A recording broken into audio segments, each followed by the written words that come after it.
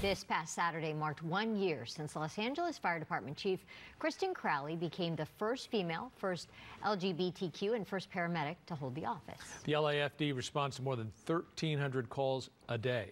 And emergency calls are up this past year, nearly 10% compared to years in the past. Joining us to talk about what she thinks needs fixing and how uh, first year uh, is going for LAFD Chief Kristin Crowley is the chief. She is here. Welcome Good back. morning. Good to Thank see you. Thank you so much for having me. I appreciate it. Well, you promised you'd come back, and you have, so thank you. Absolutely. We just mentioned that emergency calls are up. Uh, last year, the LAFD responded to nearly 500,000 incidents. That's uh, nearly up 10% from averages in the previous years. Uh, what is happening? Is this the norm? What's going on?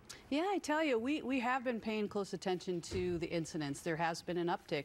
In fact, it's about 12%. So now it's a, a matter of what strategies can we put in place to ensure that we can meet the needs of the community. With an uptick of close to 12.5%, what does that mean? With the amount of resources that we currently have, that's where now is the time to put together the strategy. And that's what we've been working on the last 10 to 12 months is our strategic plan. Hmm. We now have that in place. It's a four-year plan. And we've done a deep dive with our internal stakeholders and external stakeholders within the city to start to create that momentum and that plan so that we can evolve to the needs of the community and with the increase in, in workload we need to do Can something I just follow up on that? I, I, I talked to folks from my local station once who were rolling on a person who was down in the neighborhood, and it turned out that person was intoxicated. Mm-hmm. And they sort of rolled their eyes as if to say, We have dealt with this person in particular in the past.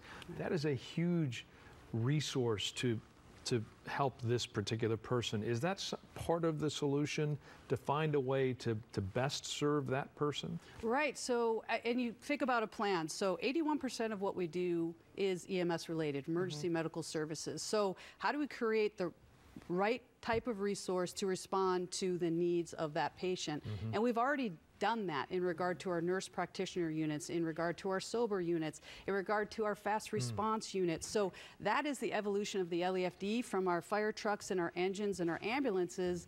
That's what this next four-year plan will give us is how do we now create a resource that will meet the needs of the patients. Mm. Okay, and at the same time, LAFD response times, they've increased citywide.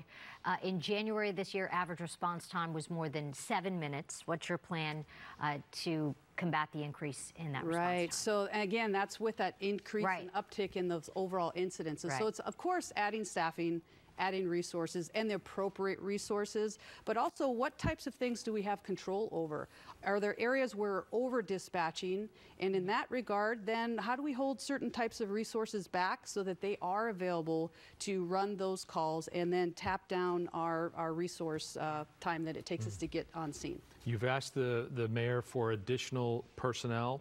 What's the response? Right. So we do have a lot of support. We've been working really closely with Mayor Bass and her administration as well as city, city leadership. And with that, we've actually hired a record amount of new firefighters coming in 229 as of this past year. We have one class that's currently at 68, and we have another class that we're building for April. So that ask is going to continue, mm-hmm. meaning five new recruit classes. That'll help us fill those seats, but also we have a, a record number of people who are retiring. Yeah. So there's a balance there. Once we fill those seats, then that's when we start to implement our new plan in regard to adding those EMS resources and alternate types of destination resources as well. Yeah. Uh, finally, how do you think this first year has gone? How I you tell feel? you, it's been really dynamic, but I wake up every single day inspired. Our firefighters, EMTs, paramedic dispatchers, helicopter pilots, everybody within the organization, they're true professionals. Mm. And that's really my job is to ensure that we put together a team that can better support our people. And that's what I'm really excited about. It's this next generation coming up throughout the LAFD, and that's where I know we're going to continue to grow. And in the end, we want to provide exceptional public safety. Well, Chief, we thank you for coming by, and we, and we thank Steve. the men and women of the department for the work they do for us every day. Thank, you very much. Appreciate it. And I love waking up inspired, right? What a lesson we could all learn from that.